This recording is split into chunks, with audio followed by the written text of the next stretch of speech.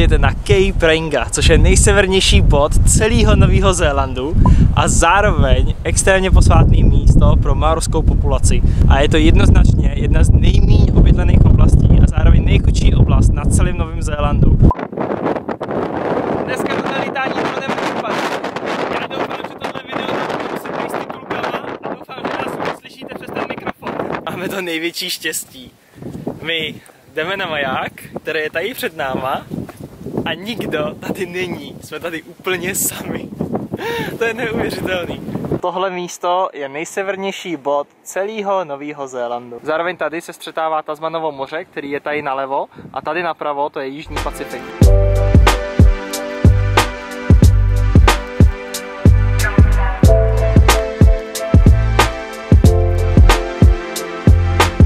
No a Verše si našla novýho kámoše.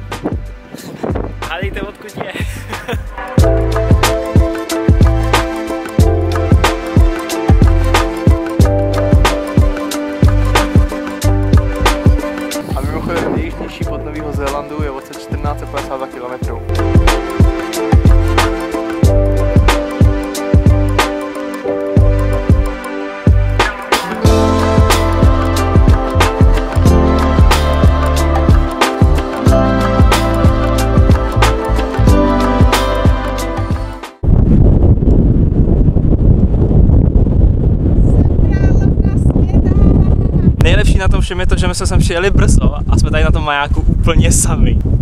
A vidíte tamhle takhle vzadu úplně ty písečné duny. To by měly být největší písečné duny na celém Novém Zélandu, který se nazývají Tepaky a my se tam jdeme právě teďka podívat. Každopádně Cape Reinga a tady ten severní bod Nového Zélandu je hodně z ruky. Pokud sem plánujete jet, tak za nás dva to rozhodně stojí za to, akorát počítejte s tím, že ta cesta je vážně dlouhá.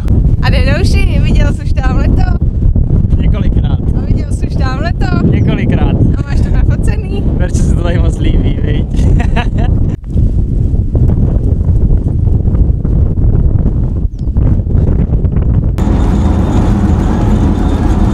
tak naší další zastávkou jsou prej největší duny na Novém Zélandu, které se nazývají Tepaky. A měly by tam být duny, které jsou až přes 90 metrů vysoký. Takže náš plán je takový, že my tam přijedeme, chceme si počít bodyboard a chceme si ty duny pěkně sjet. A ještě jedna věc tady k tomu majáku Cape Reinga. Pokud si budete plánovat vaši návštěvu tady toho majáku, tak si ji rozhodně naplánujte na ráno. Jelikož tady to je největší turistický spot na celém Northland. To znamená, že sem jezdí ohromný organizovaný zájezdy, velký autobusy s turistama a vlastně vy, kdybyste tam přijeli, tak by tam mohli být oni. A ráno tam nikdo není. Oni tam začínají najíždět až kolem nějaký 12. hodiny zpravidla.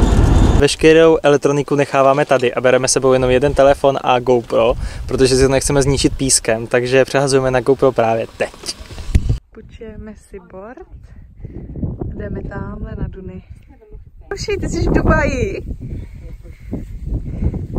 Poprvé v životě jdeme bodyboardovat nebo bodysurfovat na písečný duny.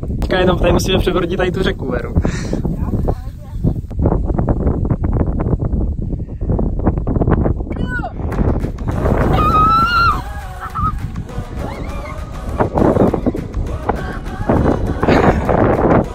Tohle je úplně super.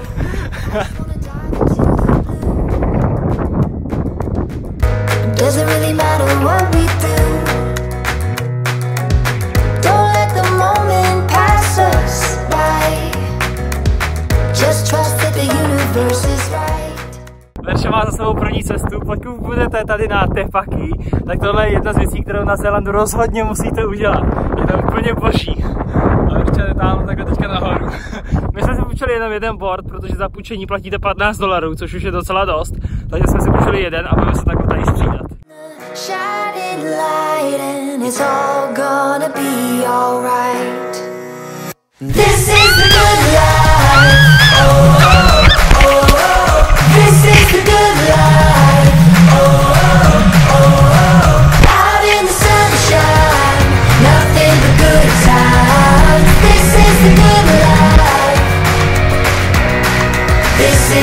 Ah.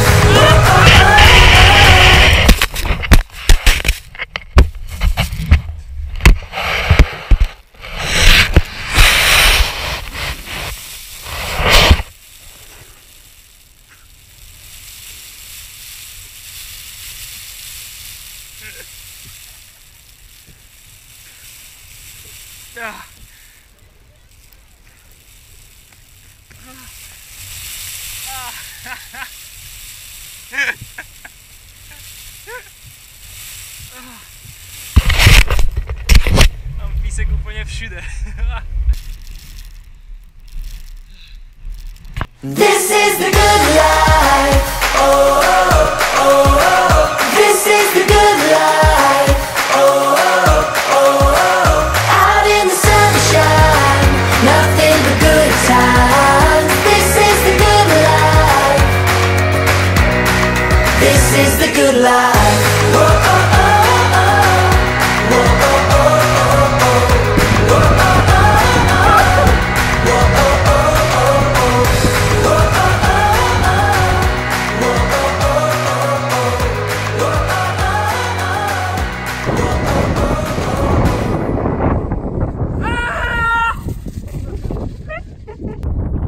Připravená na další jízdu?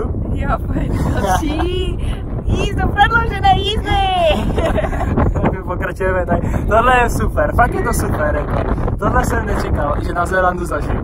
Jako poušť a písečný duny na Zélandu bych si nemyslel, že tady takhle budou. A tam takhle za náma vzadu je Ninety Mile Beach, což je největší pláž na celém Novém Zélandu a oceán.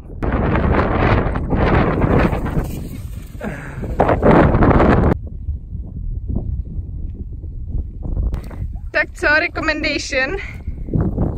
A rozhodně to stojí za to. Pokud jako jedete na Northland, tak tady to je zastávka, kterou nesmíte vynechat. I kdybyste nechtěli jezdit, tak je to hezký aspoň si to vyjít a vidět to, protože duny na Novém Zélandu prostě jinde už neuvidíte. My jsme se právě vrátili do auta tady z těch dun v té paky. Bylo to úplně super. Jak už jsme říkali, pokud tady budete, tak to rozhodně naštivte. My vyrážíme na další Freedom Camp a v příštím videu, což pro vás bude příští víkend, vám ukážeme stromy Kaury a dokonce vám ukážeme i ten největší, který se na Novém Zélandu nachází. A zároveň tam jsou i ohromně starý historický pralesy. Veru, bylo to super, že? Verče je úplně hotová. super řízená. Takže příští video Kaury a pralesy a do té doby zatím čau.